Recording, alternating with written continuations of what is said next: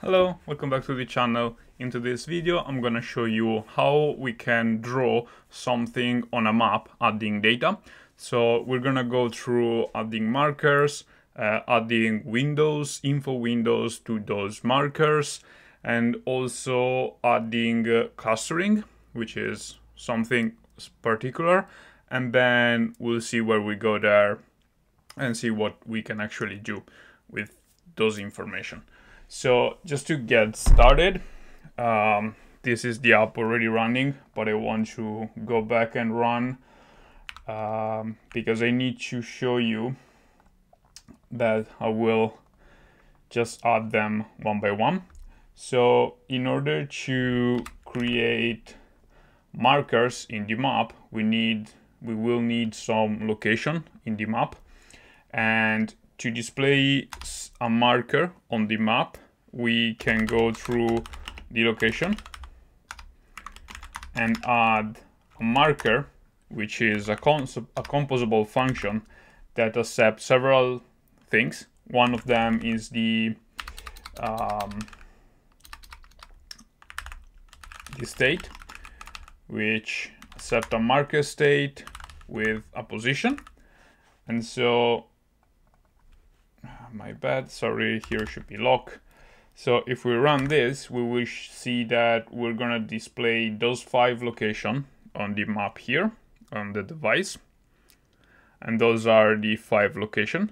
But adding the markers alone this way won't do anything, especially when the user will tap on one of the marker, it will just center the marker on the screen without doing anything else. So in order to do something else, we want to add something more.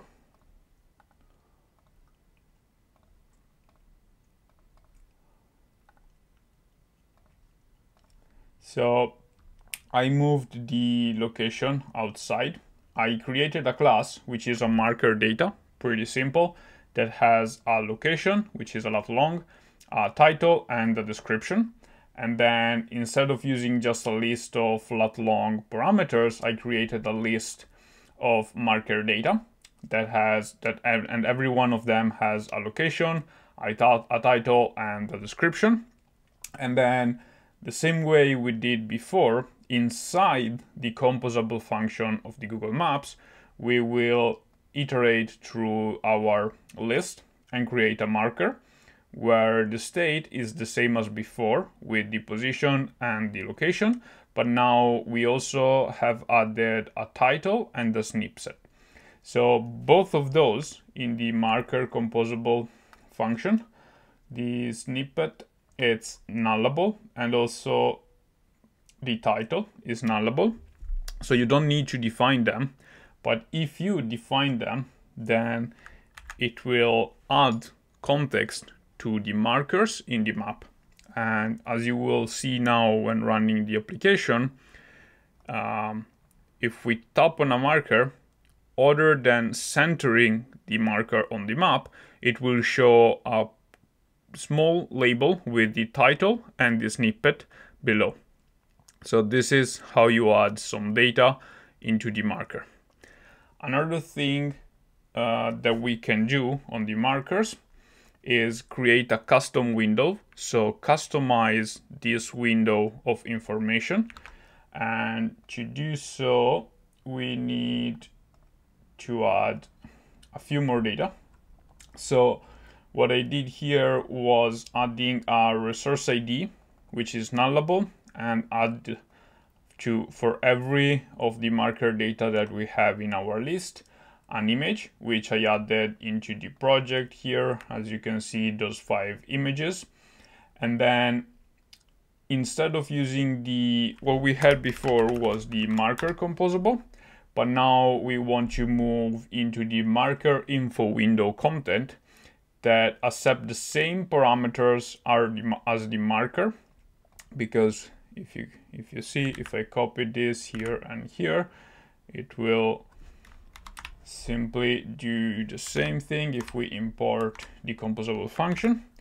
You see, everything works as fine, but this marker info window content allow accept a composable, a composable function as the last parameter, which is the content.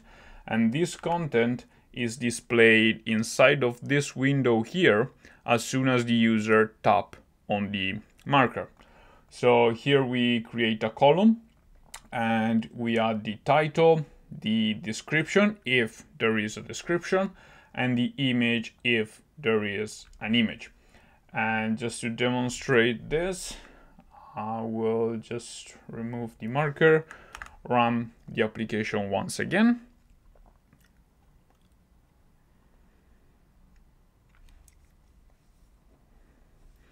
And as you can see, the behavior is the same. If you tap on a marker, it will center and it will display the um, info window that we created and customized as we wanted.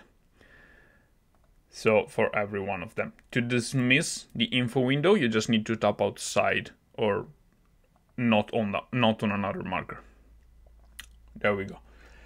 And that's how you can customize the window. You can remove the maximize for the width. You can completely remove this one if you want to and run it uh, if you I don't know uh, if you want to change the image size to be smaller and then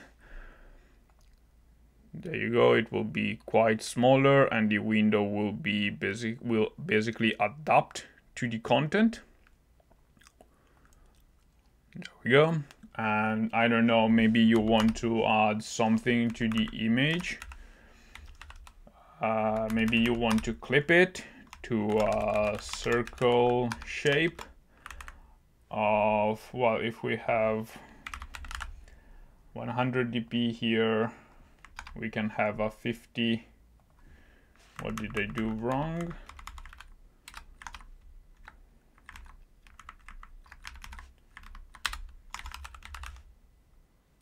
Uh, sorry, we need a rounded rounded corner shape with a 50 dp radius and now you'll see that the images will be clipped with and they will basically be circles instead of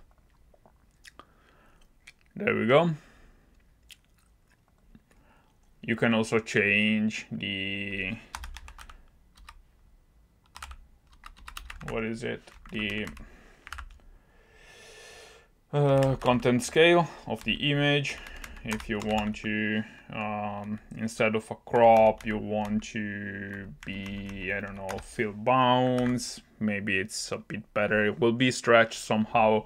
But this is just to show you that you basically can customize everything and it will the, the windows itself you have completely complete control over the window that's being displayed and say that the let's say that the Tower of London has a too long content description so we could theoretically place it to null.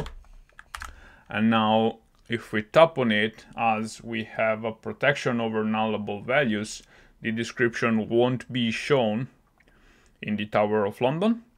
And the same goes for if we remove the image for the Buckingham Palace we will see that the image won't be shown. We will just have the title and description. Got the wrong one. And this should be the Buckingham Palace. Here we go. Now let's roll back everything, go back to GitHub and go ahead. And now for the clustering though, we need to add something more in our project what we need to add, we had the implementation of Google Maps for Compose, but we need the utils library as well. I think I already had it. So yep, I have the Compose utils library, but you need to add this line into your build Gradle in order to be able to use the clustering. So the clustering is a little bit tricky because it accepts a collection of item and your collection of item need to extend the interface cluster item. So what I did in our marker data class, I, I extended the cluster item interface. This requires you to override those four functions, which is which are get position, get title, and get snippet. And once you do that, you need to provide those three things. Those are used inside of the clustering function to basically populate the with the, the map with the markers. So this is how you provide. And now you see that the on cluster click and on cluster item clicks are two functions that provides you a cluster of marker data. Uh, of course, you don't need to specify this, but you can get the cluster if you need to. And here you can get the cluster item, which is of marker data. So the false here are to tell the system that we didn't handle the click on the cluster and the cluster item and that it needs to propagate it. So if we now run this with the data are the same, so we still have the same marker, marker data with the same uh, drawables and so on. And this is the clustering. So if we zoom out a little bit, you see that the cluster is being done. And if we zoom out a bit more, there we go, we will have five clicks. Sorry, I did a double click now, but if you specify false and false here and then and don't do anything there, when you tap on a cluster, it will just be centered. While if we set it to true, it means that we handle the click and we don't want the system to do anything with the click itself.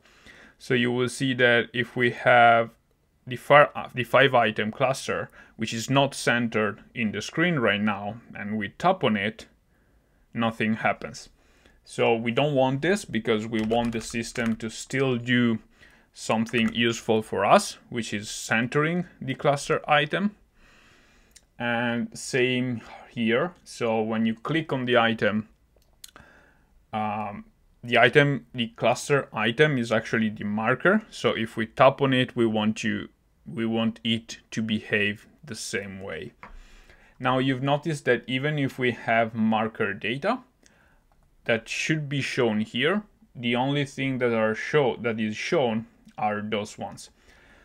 Uh, I currently don't know if there is a way to customize the info window for clustering. I will take a look and let you know down in the comments.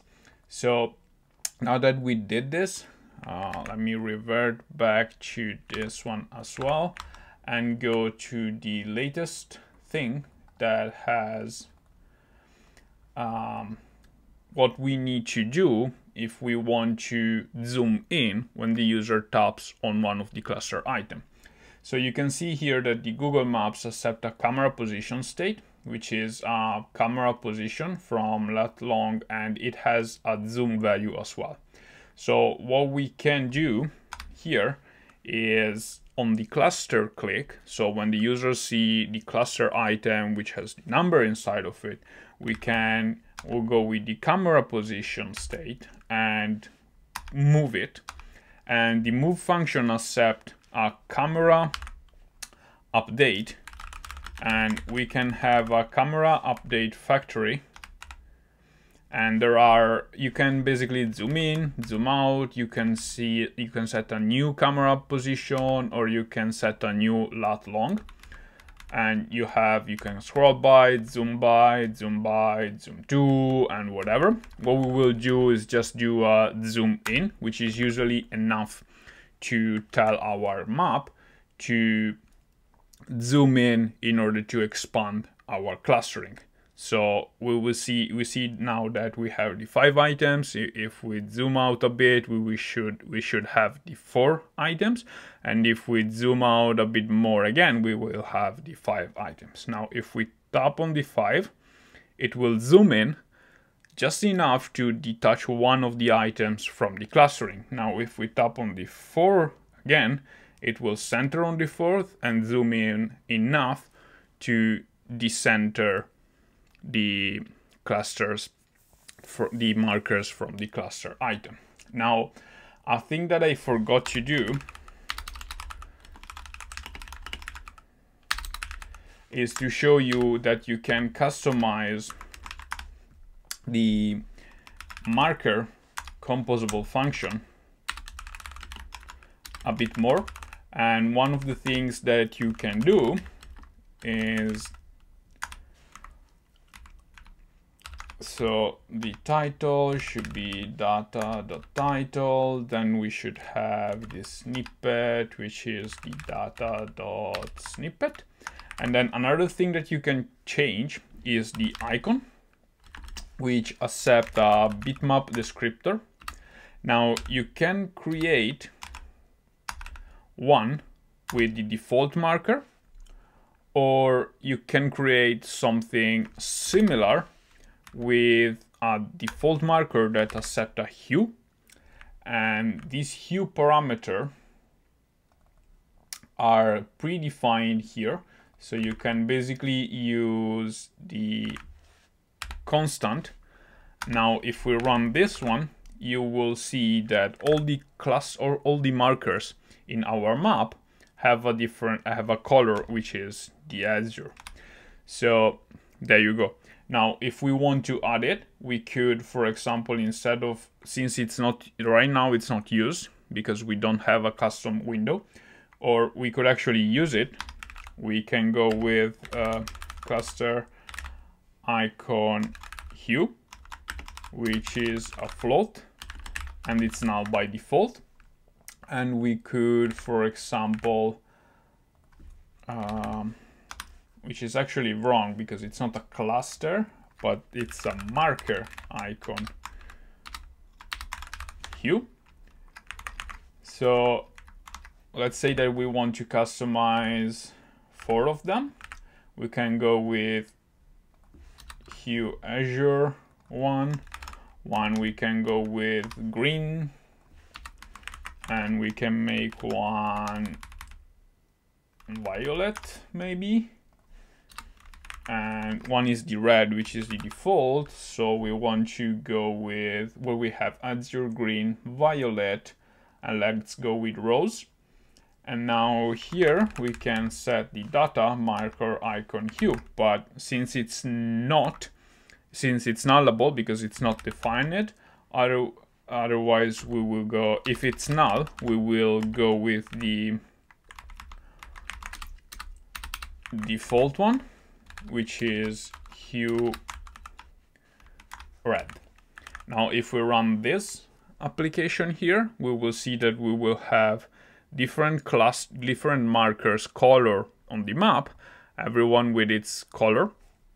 Another thing that you can go with is provide a bitmap, an asset, a file where you need to specify the file name, a path, a pin config or a resource.